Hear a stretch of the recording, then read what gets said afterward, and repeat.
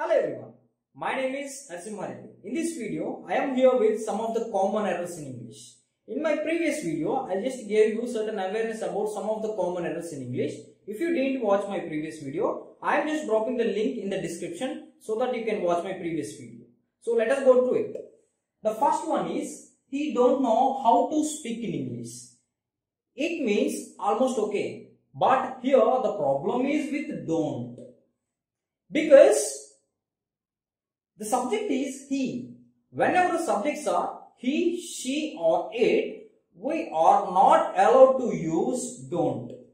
So here the proper form is he doesn't know how to speak in English. Next comes this is an agreement between three companies. It seems alright, but here the problem is with between. Because we are talking about three companies. Between we used to refer something between two people. Because here we clearly mention three companies. So we are not allowed to use between. The proper form here is among. So it is clearly this is an agreement among three companies. Next comes she didn't came yesterday. It seems alright, but here the problem is with came because here we have an auxiliary didn't. Didn't it clearly refers the past form. When didn't is clearly referring about the past form, you are not allowed to use the main verb again in the past form. So the proper form is she didn't come yesterday. Next comes I am waiting in the bus stop. It seems almost correct. But the problem here is with the preposition in.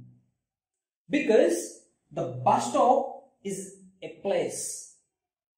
The proper preposition which refers a place is at. So the proper form here is I am waiting at the bus stop. Next comes they visited a zoo just now. It seems okay, but here the problem is with the form of subject and verb. Because here I clearly mentioned a signal word just now. So you need to add the participle auxiliary to refer the action did just before. So here the proper form is they have visited a zoo just now. Where I can find a bank. It seems almost correct. It is almost most of the familiar question that we generally ask. But here the problem is with the form of subject and modal auxiliary.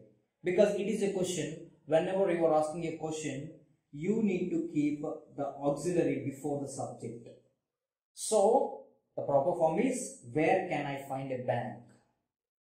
Finally, my brother has 10 years old.